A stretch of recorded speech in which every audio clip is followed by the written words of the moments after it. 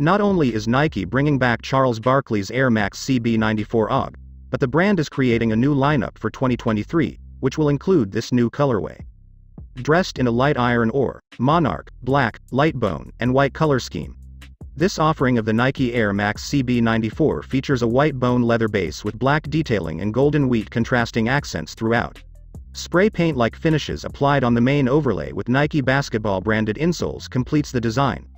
Look for the Nike Air Max CB94, light iron ore, to release in the coming months at select retailers and Nike.com.